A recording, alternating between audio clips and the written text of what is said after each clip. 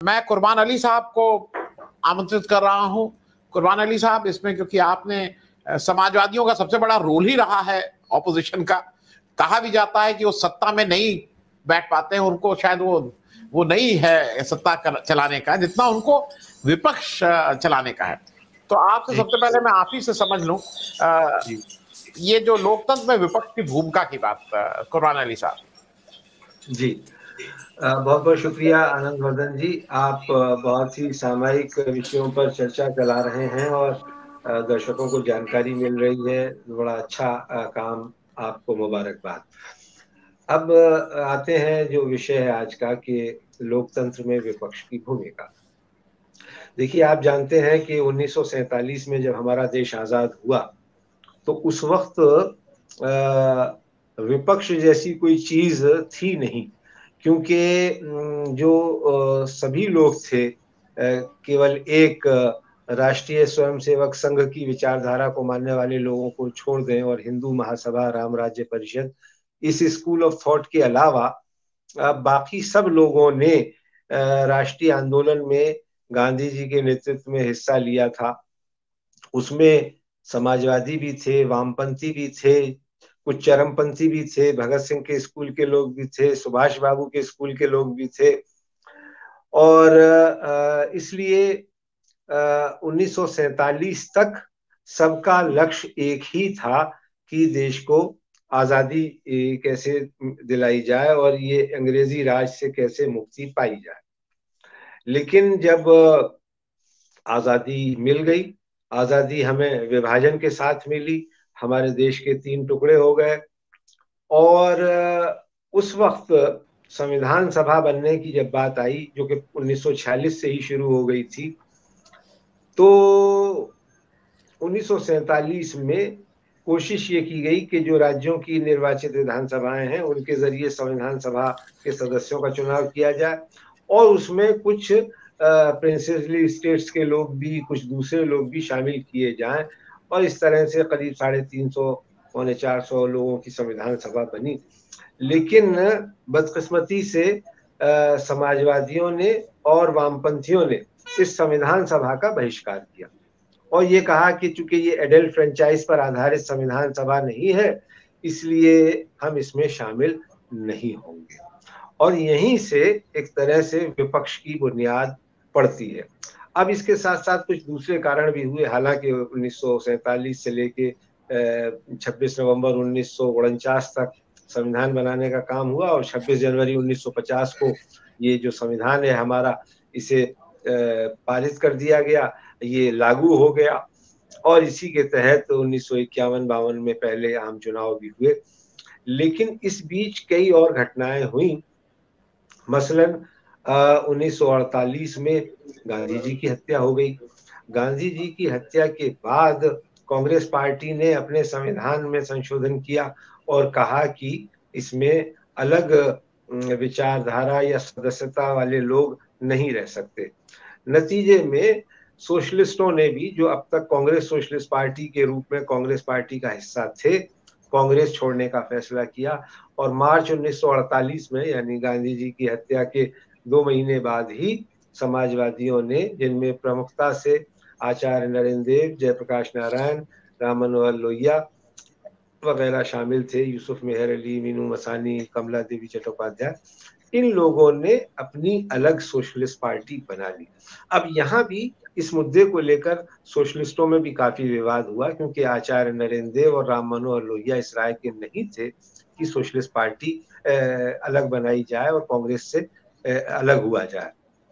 और दूसरी ओर, जो सोशलिस्टों को कांग्रेस के अंदर नापसंद करते थे, दक्षिण पंथी लोग जिन्हें कहा जाता था, जैसे सरदार वल्लभ भाई पटेल, राजेंद्र प्रसाद और यहाँ तक के मौलाना आज़ाद भी, उन्होंने कहा कि भाई, तुम समाजवादी लोग आलोचना बहुत करते हो और ज़िम्मेदारी से भागते हो।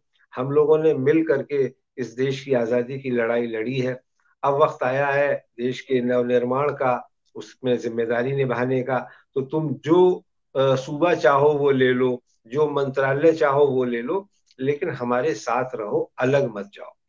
लेकिन आचार्य नरेंद्र देव और लोहिया की मनमर्जी के खिलाफ जयप्रकाश जी ने फैसला किया कि हम रचनात्मक विपक्ष की भूमिका निभाएँगे और ये जो कांग्रेस पार्टी की सरकार है, इसको आईना दिखाने का काम करेंगे। और देश हित में हम इसके साथ सहयोग और विरोध करेंगे। तो ये कांग्रेस से निकले हुए सोशलिस्टों की राय बनी और सोशलिस्ट पार्टी एक प्रमुख विपक्षी दल के रूप में सामने आई। कुरान अली साहब एक हमारे दर्शक हैं पुरु। उनका मैं स्टेटमेंट फिर मेरा प्रश्न है।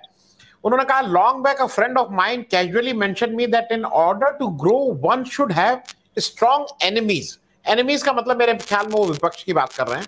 Are enemies challenges us to think they challenge us to grow मेरा मूल प्रश्न यह है कि अभी एक नई बात चलने लगी है कि विपक्ष का आ, किसी पार्टी का नाम आप समझ सकते हैं कि हम इसको मिटा देंगे। भाजपा का आया है और अमित शाह साहब कि हम भारत से कांग्रेस का नामो निशान मिटा के रहेंगे और लोग इसको कई जगह कोट भी करते हैं। देखिए, विचारधारा अलग अलग हो सकती हैं। बात मेरी और आपकी एक मत नहीं हो सकता हूँ। गांधी की हत्या के बाद जितनी मेरी याद है और जितना मैंने आप उसको सही करेंगे, कहीं पे भी मैंने ये नहीं पढ़ा कि हम आरएसएस और जनसंघ को मिटा देंगे। बैन लगा, एक समय के बाद तो उन्होंने कुछ जो भी अपने कागज़ दिए कि अब हम ठीक से काम करेंगे, क्या काम करेंगे, जो उस समय की सरकार को लगा कि इनकी जो जो भी इन्होंने हलफनामा दिया है वो ठीक उस पर काम करेंगे। सरकार ने बैन हटा दिया। लेकिन जो एक नया शुरू हो गया है कि विपक्ष को हम इसका मिटा देंगे इस पे जरा समझना चाहेंगे आपसे। अली साहब। आनंद भाई देखिए असल में जो लोकतंत्र की आदर्श स्थिति होनी चाहिए किसी भी देश में वो भारत में नहीं है। हम उससे काफ़ी दूर हैं काफ़ी पीछे हैं लेकिन हमें एक बात नहीं भूलनी चाहिए कि तीसरी दुनिया के देशों में हम अकेले वाहिद ऐसे देश हैं कि जहाँ 1947 में जो लोकतंत्र का बीज बोया गया था, जो पौधा रोपा गया था, वो एक बड़े वटवृक्ष के रूप में आज हमारे सामने है और पूरी दुनिया उसकी दाद देती है, उसकी मिसाल देती है। मैं जब तक पाकिस्तान और बांग्लादेश नहीं गया था और वहाँ का फौजी शासन मैंने नहीं देखा था तब तक मुझे भी ये लगता था कि ये लोकतंत्र तो फार्स है, क्योंकि आप जानते हैं हमारा जो बैकग्राउंड है वो गैर कांग्रेसवाद के की घुट्टी के साथ में हम लोगों ने जन्म लिया। तो लगता था कि हर बीमारी की जड़ कांग्रेस है। लेकिन जैसा आपने कहा कि कांग्रेस पार्टी और खास करके जवाहरलाल नेहरू की इस बारे में दाद दी जानी चाहिए कि उन्होंने किसी भी विचारधारा को खत्म नहीं किया और कोई ऐसा काम नहीं किया। उनकी संसद में जनसंघ के भी सदस्य होते थे, हिंदू महासभा के भी होते थे, मुस्लिम लीग के भी होते थे, कम्युनिस्ट भी होते थे, वामपंथी भी होते थे और उनकी जमकर आलोचना करते थे और वो सिर झुकाकर उस आलोचना को सुनते थे और कहते थे कि यही लोकतंत्र है और इसका होना बड़ा ज़रूरी है। लेकिन जब मामला ये आ जाए, अभी बात संजय जी ने की कि साहब झूठ के आधार पर, अभी उन्होंने टू जी और थ्री जी का और कांग्रेस का जो यूपीए शासन था उसका ज़िक्र किया। लेकिन मैं बड़े अदब के साथ उनसे पूछना चाहता हूँ। उन्होंने कहा कि वो जनमोर्चा के हिस्सा रहे।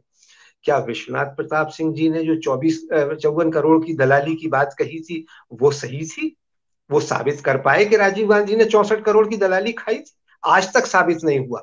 और इस बात का एहसास वीपी सिंह को हो गया था। और उन्होंने जब सोनिया गांधी को प्रधानमंत्री बनाने की बात की और कोशिश की तो उस वक्त में कहा कि हाँ मुझसे गलती हुई। मेरे कारण सांप्रदायिक शक्तियाँ मज़बूत हुई।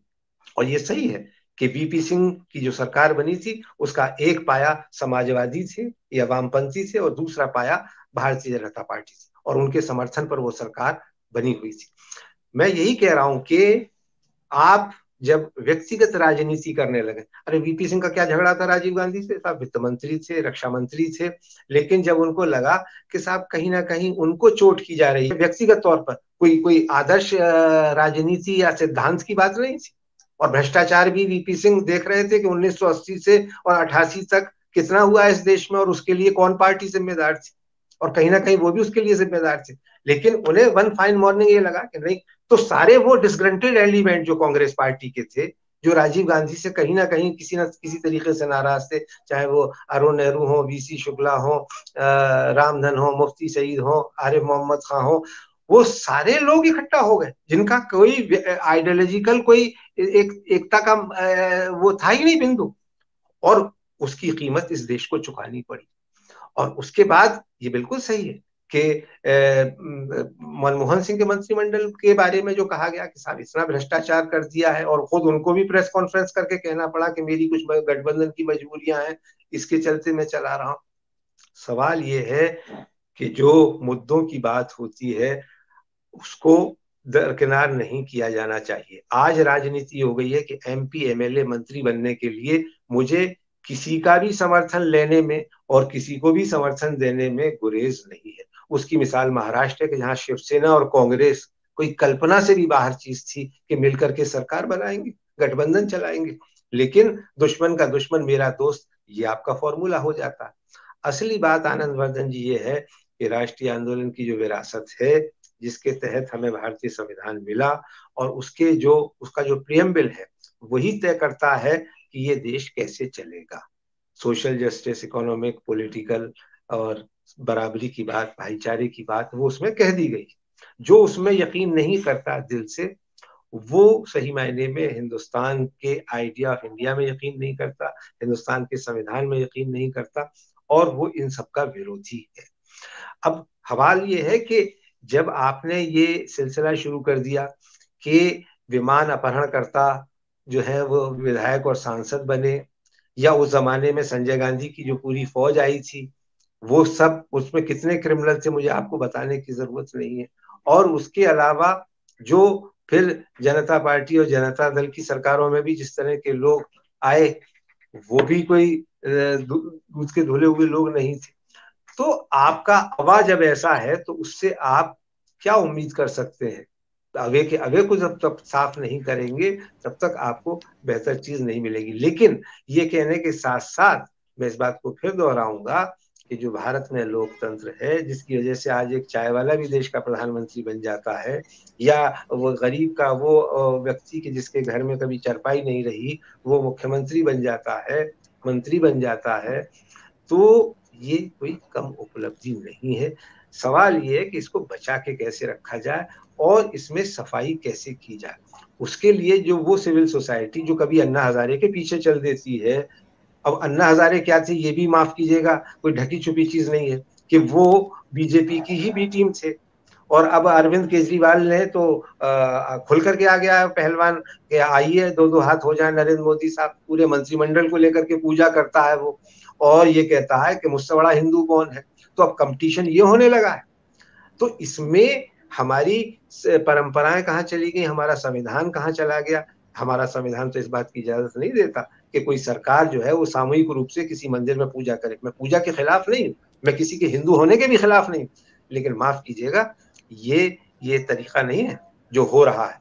आप नरेंद्र मोदी को कह आलोचना करते हैं कि वो आरती उतारते हैं जूते पहन के उतारते हैं या चश्मा लगा के करते हैं या कैसे करते हैं कैसे नहीं करते लेकिन आप तो उनका विरोध करने के लिए आए हैं। आप तो आपने तो ये वायदा किया था लोगों से कि हम आ, दूसरी तरह की बात करेंगे, हम बिल्कुल ये लोग जो जिस तरह से देश को तोड़ने और खराब करने की बात कर रहे हैं, वैसा काम हम नहीं करेंगे। तो आप भी वही काम करने लगे।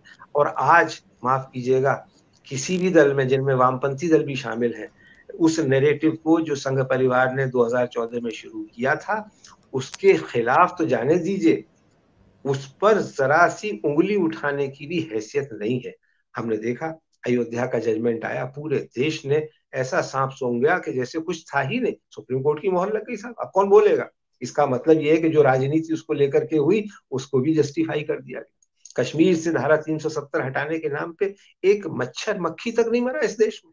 किसी ने विरोध नहीं जताया। अरे भाई, कश्मीर के भारत में जोड़ने की ये शर्त थी। और इसको खत्म करके आप कश्मीर को रखना चाहोगे? ज्योग्राफी को रखना चाहोगे? लोगों में आपकी दिलचस्पी नहीं है। लोगों को आप कैद करके रख रहे हो। उन्हें इंटरनेट तक नहीं दे रहे हो। और आप ये कह रहे हो कि नहीं, कश्मीर भारत का अभिन्न अंग है। कैसे हो जाएगा अभिन्न अंग? अभिन्न अंग था ही नहीं पंद्रह अगस्त उन्नीस को। कृत्रिम रूप से जुड़ा था। एक इंस्ट्रूमेंट ऑफ़ असेशन के ज़रिए से। राजा हरि सिंह के दस्तखत और उसमें आपने वायदा किया था कि उसकी पृथक विधानसभा होगी पृथक संविधान सभा होगी, उसका अलग एक नॉमन क्लेचर होगा, वहाँ प्रधानमंत्री होगा, मुख्यमंत्री नहीं होगा, गवर्नर नहीं होगा, सदर रियासत होगा। ये सारे वायदे करके कश्मीर शेख अब्दुल्ला ने भारत में मिलाया था। आज कोई कह सकता है इन बातों को? तो इसका मतलब ये, अभी और ज़्यादा पीछे मत जाइए। सिक्किम तो अभी तीस चालीस साल पहले ही मिला है भारत में। वहाँ आप अपना इनकम टैक्स कानून नहीं लागू कर सकते, क्योंकि आपने वायदा किया था सिक्किम के लोगों से। कि हाँ ये हमारा इनकम टैक्स यहाँ लागू नहीं होगा, तब सिक्किम भारत का हिस्सा बना था। तो ये जो चीज़ें हैं, इनको पूरे नॉर्थ ईस्ट में आप क्या कर रहे हो? त्रिपुरा में आज क्या हो रहा? है नंगा नाच हो रहा है। जो जिन लोगों ने हिंसा फैलाई, वो उनके खिलाफ आठ मुकदमे। और जिन लोगों ने उसकी तहकीकात की, उसका विरोध किया, उन पे 102 मामले यूएपीए के तहत आपने दर्ज किए। इसे आप लोकतंत्र कहोगे?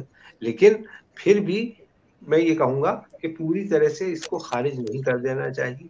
आज भी देश में बड़ी तादाद है जो दिल से लोकतंत्र में यकीन रखती है जो मानव अधिकारों की बात करती है जो नागरिक स्वतंत्रता की बात करती है और अभी सब कुछ खत्म नहीं हुआ है।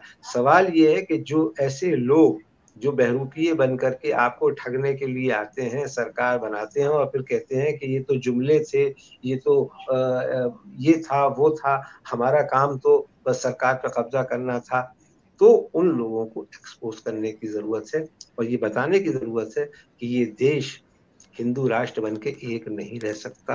ये जो अफीम पिलाई जा रही है, जो 2019 के लोकसभा इलेक्शन में भी इसका इस्तेमाल किया गया और अभी उत्तर प्रदेश के चुनावों में भी किया जाने वाला है, इसके चलते हुए लोकतंत्र मज़बूत नहीं होते। लोकतंत्र तब मज़बूत होते हैं जब विरोध की आवाज़ वहाँ बुलंद होती है। आज भी जहाँ से हमने ये इंपोर्ट की है प्रणाली लोकतंत्र की ब्रिटेन और अमेरिका। उसमें अमेरिका में उतना नहीं, लेकिन ब्रिटेन में तो आज भी हाइड पार्क में खड़े होकर के कोई भी व्यक्ति सरकार के खिलाफ जो चाहे वो बात कह सकता है और उसे इस बात की गारंटी है कि उसके खिलाफ कोई कार्रवाई नहीं की जाएगी। ये बात आज भारत के बारे में आप नहीं कह सकते। एक और ऐसा प्रश्न है जो थोड़ा कॉम्प्लिकेटेड हो गया है आज की तारीख में। क्षेत्रीय पार्टियों का वर्चस्व बढ़ रहा है और जो जो अपने अपने क्षेत्र में है, सब होल्ड कर रहे हैं। कोई भी पार्टी हो। और उधर केंद्र जो है, वो उनको, उनकी जो भी स्वायत्ता है या उनका जो भी एरिया ऑफ़ इन्फ्लुएंस है, उसको कर्व करना चाह रहा है। और ये टकराहट हाल के दिनों में खूब देखी गई। सेंट्रल फोर्सेस आप भेज रहे हैं। मैंने कल एक लिस्ट में देख रहा था 2005 से 2019 के बीच में ईडी ईडी ने 1900 करीब केसेस दर्ज किए नौ में कन्विक्शन हुआ है बाकी ऐसे ही हैं। और सारा विपक्ष का आप नाम ले लीजिए किसी भी लीडर का सबके ऊपर ईडी की रेड एड हुई ये एक एक कहीं ना कहीं विपक्ष को आप उसका स्थान नहीं दे रहे हैं। आप विपक्ष ये टकराहट भी केंद्र और स्टेट की जो हो रही है ये भी एक खराब आपको संकेत नहीं लग रहा है। फेडरल स्ट्रक्चर जी। आपके इस सवाल का जवाब दूँ उससे पहले जब आप संदीप पांडे साहब से विपक्ष के नेता के बारे में बात कर रहे थे उसके बारे में बहुत संक्षेप मैं अपनी जी, बात एक रखना चाहता हूँ कि देखिए आज़ादी के बाद बावन सत्तावन और बासठ तीन आम चुनावों में कांग्रेस पार्टी को जवाहरलाल नेहरू के नेतृत्व में लैंडस्लाइड विक्ट्री मिली साढ़े तीन सौ के आसपास सीटें उनको मिलती रहीं और वो सरकार बनाते रहे केंद्र में भी और इसी तरह से राज्यों में। उन्नीस में तीन उपचुनाव हुए, चार हुए थे। दीनदयाल उपाध्याय हार गए, लेकिन जेबी कृपलानी अमरोहा से, राम मनोहर लोहिया, फरुखाबाद से, मीनू मसानी राजकोट से जीते। और जीतने के बाद बासठ में भारत चीन युद्ध हो चुका था। इन लोगों ने पहली बार सदन में अविश्वास का प्रस्ताव रखा। जेबी कृपलानी का वो प्रस्ताव था, अविश्वास का। और सबको मालूम था अच्छा उस वक्त में नेता विपक्ष नहीं होता था, क्योंकि विपक्ष की इतनी संख्या ही नहीं थी। आज भी नहीं है नेता विपक्ष हमारी लोकसभा में। तो लेकिन जवाहरलाल नेहरू ने उसे एक्सेप्ट किया स्पीकर के ज़रिए से कि भाई, चर्चा होनी चाहिए। और इन लोगों का भी ये कहना था कि हमें मालूम है कि नेहरू और कांग्रेस पार्टी के साथ प्रचंड बहुमत है, उनकी सरकार हमारे इस अविश्वास प्रस्ताव से गिरने वाली नहीं है। लेकिन हम देश के सामने जो मुद्दे हैं, जो समस्याएँ हैं वो लोगों के सामने अवाम में लाना चाहते हैं। नतीजा ये हुआ कि तीन आने, बनाम पंद्रह आने की बहर और कई दिन तक मीडिया में चर्चा हुई और लोगों को लगा कि नहीं भाई, ये संसद जो है मौन नहीं है, यहाँ उसकी आवाज़ भी सुनी जा रही है। एक तो बात वो अब इसकी बात कि जब सीबीआई ईडी और यूएपीए इसका इस्तेमाल अपने विरोधियों की आवाज़ दबाने के लिए किया जाने लगेगा तो लोकतंत्र सरवाइव नहीं लोकतंत्र की जो ब्यूटी यही है कि आप विपक्षी की आवाज़ सुने। जैसा मैंने कहा कि हमारे यहाँ ये परंपरा सन इकहत्तर तक थी कि विपक्ष बहुत कम सांसद थे, लेकिन उनकी आवाज़ को कभी दबाया नहीं जाता था। इसीलिए हिरेन मुखर्जी, पीलू मोदी, मधुलिमय, ज्योतिर्मय बसु और एक लंबी, अटल बिहारी वाजपेयी, लंबी लाइन है जिनकी बात। और आपको यहाँ ये याद दे रहा हूँ कि मधुलिमय के प्रिविलेज मोशन पर इंदिरा गांधी की, और वो पांचवी लोकसभा में पेश किया था, वो प्रिविलेज मोशन छठी लोकसभा में जब वो चिकमंगलूर से चिन करके आई, उनकी सदस्यता रद्द हुई और उन्हें जेल जाना पड़ा। ये हमारे लोकतंत्र की ब्यूटी है।